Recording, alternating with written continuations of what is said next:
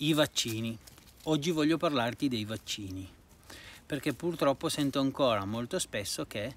non posso far uscire il mio cane perché non ha ancora finito i vaccini. Non posso portarlo perché il veterinario mi ha detto che non ha ancora i vaccini e quindi non può uscire. Certamente il veterinario ti dice una cosa giusta, ma allo stesso tempo te ne dice una sbagliata, perché se tu non porti il cane a passeggio nei momenti importanti per per la sua crescita, ovvero eh, i momenti in cui eh, sta, sta crescendo, sta esplorando, sta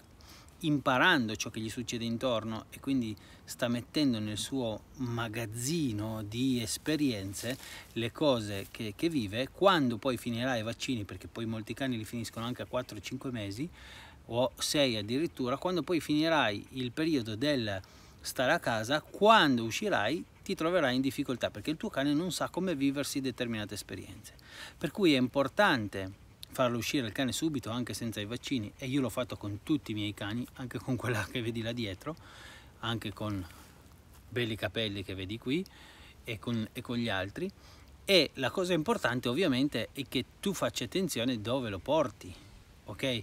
Eh, quanto può stare a contatto con altri cani, che cosa mangia, ovviamente fallo senza avere quell'ansia, quella, quella preoccupazione che possa succedere qualcosa di brutto, goditi il momento, presta un po' di attenzione, ma fai vivere il cane le esperienze, perché poi mi trovo a dover affrontare l'educazione di cani o la rieducazione in questo caso di cani che hanno paura dei rumori, che hanno paura de, di altri cani, che al guinzaglio diventano aggressivi che mordono, che tirano, perché? Perché sono spaventati e non sanno come gestire le emozioni di quel determinato momento, perché tu non gliel'hai fatte vivere, ma non per colpa tua, perché il veterinario ti ha detto che era meglio non fargliele vivere. Per cui è importantissimo, è veramente importantissimo che sia tu che il tuo cane iniziate a vivervi esperienze sin dal primo giorno. Ovviamente tutto va fatto con metodo, con, con costanza e gradualità per far sì che le esperienze che il tuo cane si vive e che tu ti vivi vengano apprese poco per volta in modo molto graduale e dolce, ok? E ricordati anche che esperienze negative sono sempre costruttive. Ovviamente dipende da come tu le vivi. Se,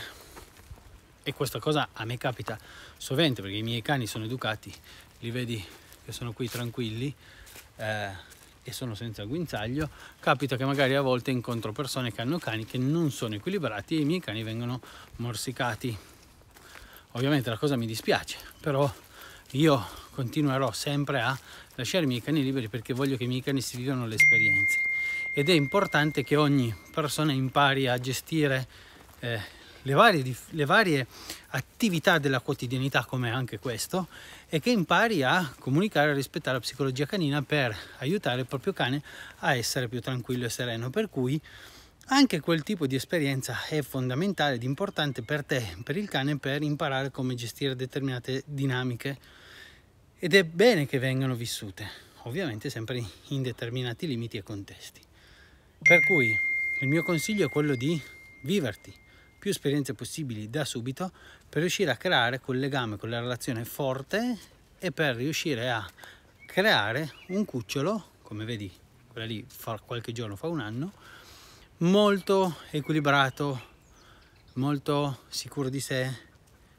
e per riuscire a creare quella relazione importante che si puoi creare solo tu dando libertà e fiducia al tuo cane, ovviamente sempre tramite la conoscenza, perché le cose fatte a caso non sono replicabili, non sono, eh, non, non sono misurabili e quindi non puoi sapere se stai facendo in modo corretto oppure no. Il mio consiglio è sempre quello di seguire un corso, un corso sulla psicologia, sulla comunicazione canina, per arrivare al suo cuore e quindi conquistare la sua fiducia, rispetto e amore. Io posso aiutarti a, ad apprendere queste competenze. Dipende tu quello che vuoi dalla relazione con il tuo cane.